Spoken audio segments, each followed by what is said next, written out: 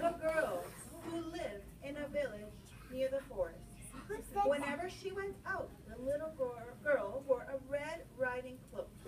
So everyone in the village called her Little Red Riding Hood.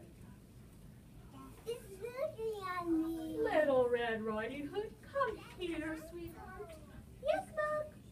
It's been a while since you've seen your grandmother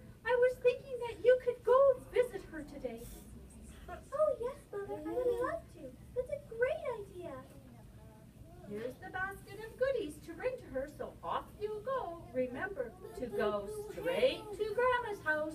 Don't get distracted along the way, and please don't talk to strangers. Don't worry, Mom. I'll be careful. So off she started her adventure to Grandma's house. Along the way, Little Red Riding Hood noticed some lovely flowers in the woods. She forgot her promise to Mother.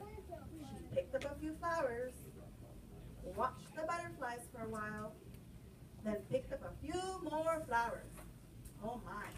Little Red Riding Hood was so distracted that she didn't notice a dark shadow approaching out of the forest behind her. Suddenly, a wolf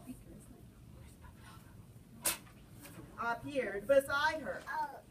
What are you doing, little girl? Oh, I'm on my way to see my grandmother. Through the forest, near the creek. Hmm. I see.